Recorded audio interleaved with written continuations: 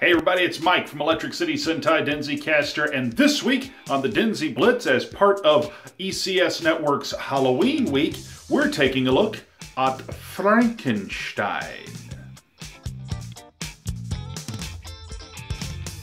Well, folks, that's right, we're taking a break from your regularly scheduled DenziBlitz. We're taking a break from Power Rangers Dino Supercharge this week. Don't worry, we'll pick up right where we left off next week, just seven days away. But this is Halloween week here on the ECS network, and all the ECS network shows are doing Halloween themed episodes. So, yesterday, you saw uh, us playing Elder Sign on uh, Rage Quit Radio. Today, we're taking a look at Frankenstein, starring Boris Karloff and Colin Clive, the classic Universal monster flick. So, before we get too far into this, I'm going to now uh, make an admission of guilt and potentially lose my geek card in the process, or at least have some points docked on it.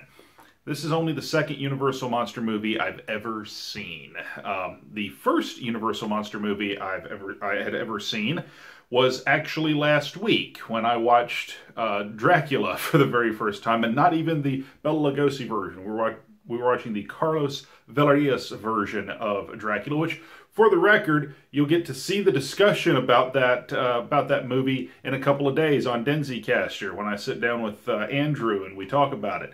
Uh, so literally, my first two Universal Monster movies, Dracula and now Frankenstein, starring Boris Karloff. Um, I really don't know why it's taken me so long to get around to these, other than the fact that, generally speaking, I don't like the horror genre. Uh, be perfectly honest, I like to sleep at night, and so um, horror movies have this nasty tendency of making my mind race in weird directions that keep me from being able to nod off. And if I do, I wind up waking up with nightmares. So that's just me. I don't do well with, with scary stuff, right? But uh, the Universal Monsters were uh, less what we would think think of today as horror. Well, what we think of, and if you hear me pronounce horror as horror on occasion, uh, that don't worry, that's my southern accent coming through. Um, my father beat that into me at a young age. Um, but the the horror genre as a whole, I've never been a huge huge fan of. Um, I think that comes part and parcel with the fact that most modern horror movies tend to be slasher flicks and gore fests, and that I've never been a fan of. But this this is something that's actually always fascinated me. The old Universal monsters. Uh, there were books at our school library when I was in high school that I used to check out on a regular basis about the Universal monsters um, and the legacy that they had. Uh, most of them, or I shouldn't say most, but a lot of them had literary uh, counterparts and literary origins. Dracula was originally a novel written by Bram Stoker. Uh, this was originally a novel written by Mary Shelley. Um, the concept of these versions of movie monsters, uh, especially over the last several years, uh, you can this they're they don't need me to give them a cheap plug, but uh, you can thank in some ways Cinemassacre's Monster Madness video series for uh, piquing my interest in these. Um, but a, a, lot of it stems from um, now in my modern mindset, I'm 37 years old or 36 years old. I'll be 37 next year. It's the first time I've ever seen these things, right? Um, it's probably a lot thanks to Tokusatsu because in many ways, even though this is what we would call Toku adjacent, which is something we don't normally do on Denzicaster and DenziBlitz, um, Tokusatsu has a lot to owe to the Universal monsters. Um, we think of really King Kong being the inspiration for uh, the earliest days of tokusatsu, especially Godzilla was heavily influenced by King Kong. But the Universal monsters probably have more of a precursor to Toku Heroes than one might think. Uh, after all, Dracula and Frankenstein and the Wolfman, uh, among others, have been the inspiration for numerous toku baddies over the years in Kamen Rider, Super Sentai, and beyond. So it only makes sense uh, that we go back and, and sometimes take a look at and pay homage to uh, to these guys here. And, and I'm going to say I was very much intrigued as I was watching this film by a lot of things. Now, this right here, this is, the, of course, the Blu-ray release, uh, which uh, I picked up at a local Walmart for only 10 bucks, which is a heck of a deal. Um, the movie, uh, which came out, and I'm consulting the back of the box because to be perfectly honest, I do not have any of this committed to memory. 1931 is when this film first debuted. So this movie right here is now, oh, 86 years old as we are talking here today. Um, starred Boris Karloff, Colin Clive, Mae Clarke. Uh, Mae Clarke played uh, Elizabeth, who eventually becomes uh, the uh, wife of Henry Frankenstein. Now it's probably worth noting that they changed some names if you're familiar with the literary version. Um, and then, of course, uh, Colin Clive plays Henry Frankenstein, who was Victor Frankenstein in the uh, original uh, novel. And then, or Vic, I don't remember if it's Victor Frankenstein or Victor von Frankenstein. I think it's just Victor Frankenstein. And then Boris Karloff plays the monster. A lot of people, because of this image or a version thereof, have over the years taken to calling this guy Frankenstein. Well, this isn't Frankenstein. This is the monster, or as Boris Karloff preferred to call him, the creature. Frankenstein's the doctor that makes him. Um, and so you have Frankenstein and Frankenstein's monster. Um, in this film, just some uh, some observations and to give you a general plot synopsis if you don't know the story of Frankenstein, because um, we do give those here on this show. Uh, Frankenstein is essentially, and we're going to isolate it to this version, uh, the story of a mad scientist, uh, a brilliant, uh, probably biologist and medical doctor, best as I could tell from watching, but a brilliant physician who uh, winds up with a God complex. He thinks he can reanimate uh, dead flesh. He thinks that he can bring the dead back to life. He thinks he can create life by stitching parts of people back together, which is essentially what the monster is. It is choice body parts from different uh, cadavers and different uh, dead bodies and such uh, in fact, the very first scene is the, him and his assistant Fritz digging up a grave. Uh, and they eventually do get a brain to put in the beast. Um, but he, he is so all consumed by this that he has forsaken everything, including his impending nuptials. Um, however, once the creature is brought to life and he realizes that uh, the creature is going to be uh, well, damn near uncontrollable, uh, the decision is made that the creature must be put down. His mentor uh, convinces him that this must be done, and um, he must, you know, go back to your normal life. You have a, a lady waiting on you. Do that, and uh, the monster going wild and killing uh, his assistant Fritz, who frankly is a jerk and torments the monster uh, very early on in the film. Uh, the uh, uh, after the death of his assistant, Frankenstein basically realizes that this was a horrible mistake and goes back to marry the love of his life, Elizabeth. Um, the monster uh, essentially is seeking revenge, uh, one assumes, and uh, tracks down Frankenstein uh, well, I should say Frankenstein tracks down the monster. The monster is on the lam. Uh, eventually, there is a confrontation between an angry mob armed with torches uh, surrounding a, a, windmill that the monster is holed up in. Uh, Frankenstein himself goes in to confront the monster, um, and it, it, well, it doesn't bode well from there. I shouldn't say Frankenstein goes in to confront the monster. Frankenstein confronts the monster on a on a, a hilltop, mountainside, what have you. But then final confrontation takes place in the windmill, which actually doesn't end well for Frankenstein either. He gets thrown off the windmill, hits the windmill fan blades themselves, and then falls to the ground. By all accounts, he really should be dead, but isn't. Uh, and the movie ends with Frankenstein recovering uh, at his family home, Elizabeth uh, loyally by his bedside, and we assume that uh, they will be wed and there will be a son to the house of Frankenstein, according to the Baron at the end of the movie, uh, Henry's dad.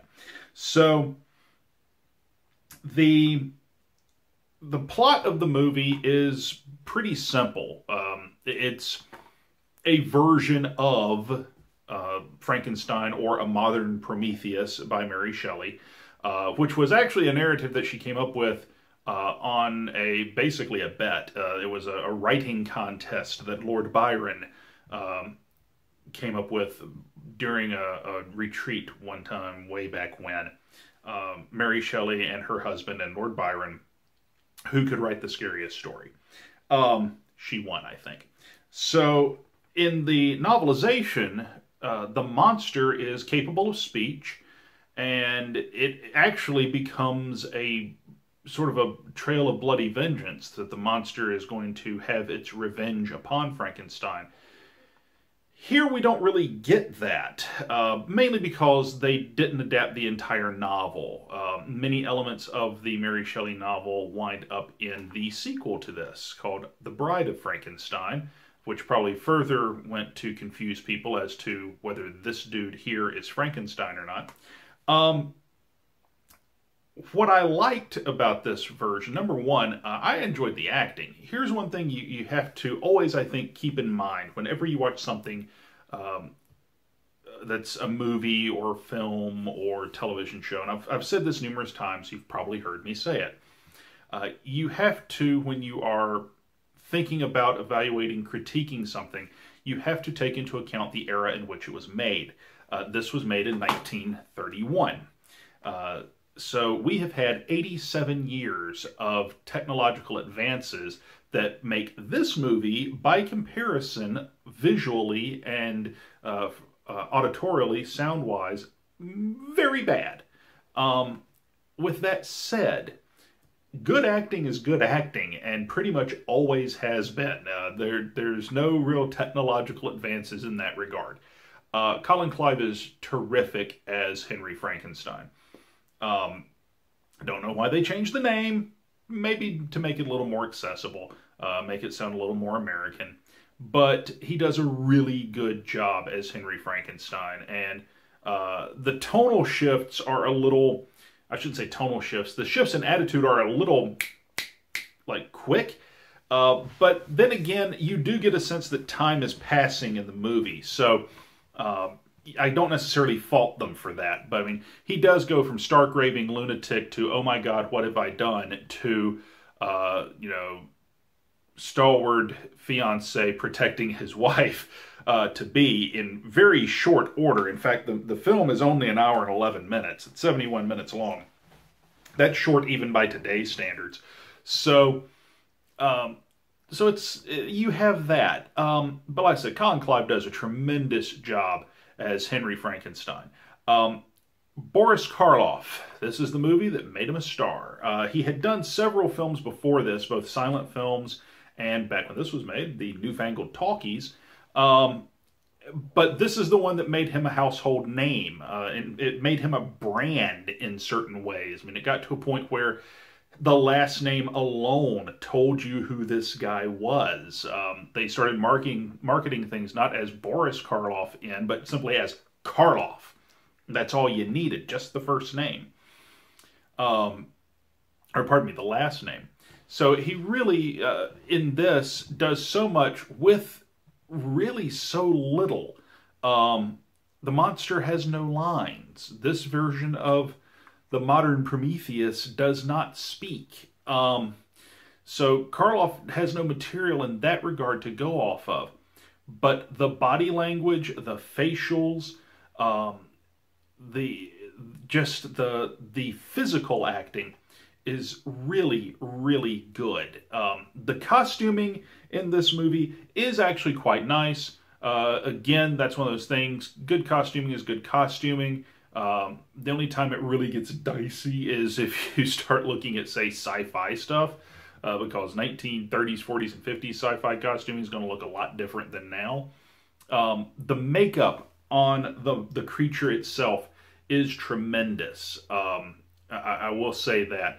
Part of it goes to Karloff himself. Uh, he thought in the initial makeup test that the creature looked a little too intelligent.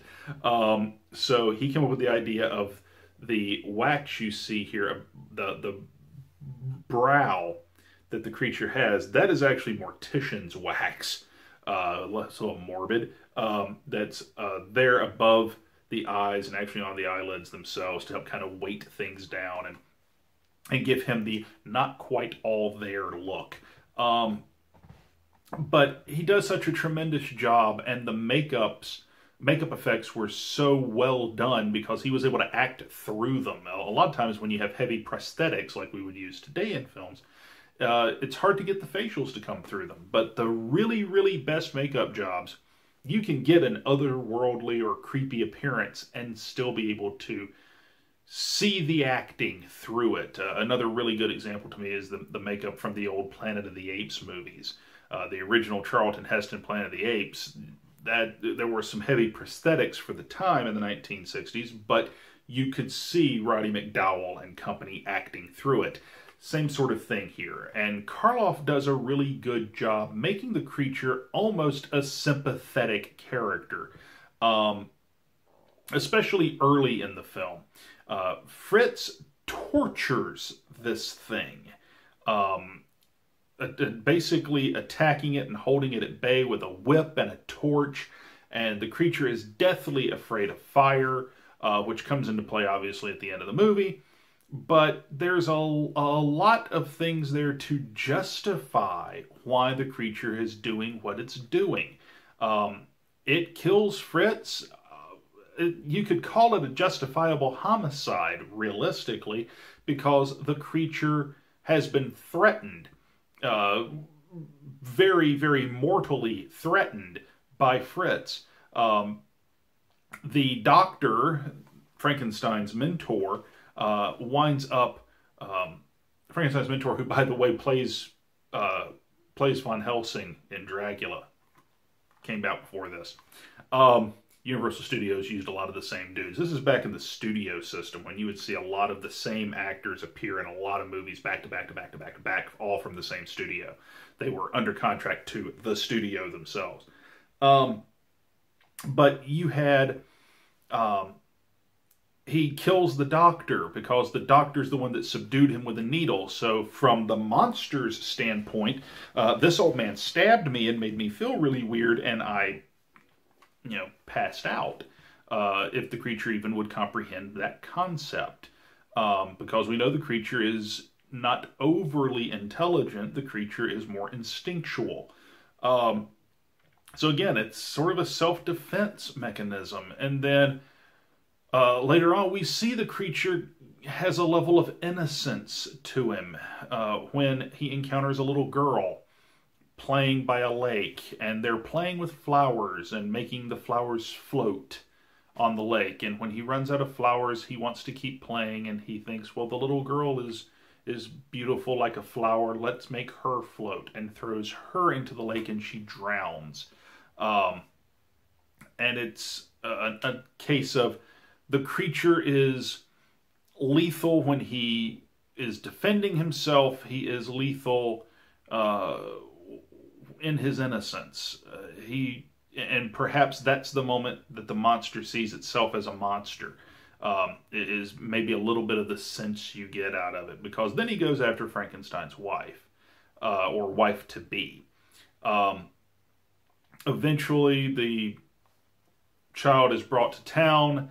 Uh, a manhunt begins in the old fashioned torch and pitchfork variety. And, um, you know, I, I, got to say, just Karloff's comes off in the movie just brilliantly all the way through because you get that range out of him. Again, some of it is turn on a dime, much like Colin Clive, but again, you're, you're covering a lot of ground and you can get the sense time is passing quickly in the course of an hour.